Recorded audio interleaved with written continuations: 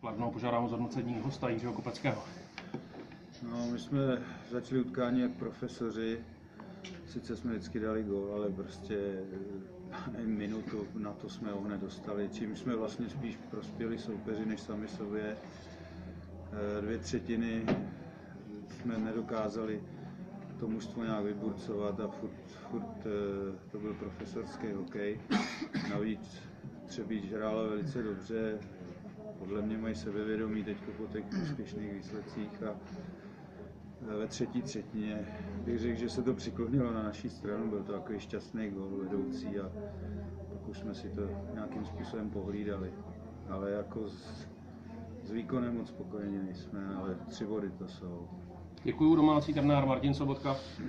Tak samozřejmě to hodnocení bude dneska takový šťastný, protože říkám, já klukům jako musím poděkovat, že provedli parádní bojovný výkon, snažili se na, na favorita Kladnu, eh, podali dobrý výkon, ale samozřejmě jsem rád, že vždycky, když soupeř dal gola, že jsme dokázali hned odpovědět, hned reagovat, že jsme čtyřikrát vlastně zápasy vyrovnali, ale dneska se na nás asi spytlo všechno, protože jsme si dali v podstatě jeden vlastní, druhý gol tam v přesilovce taky byl pomalu vlastní.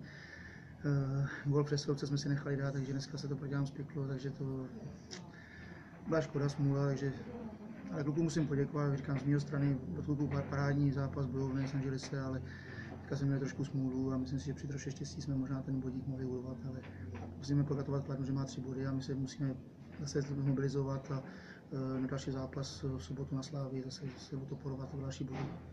Díky, dotazy nejsou. Poděkuji.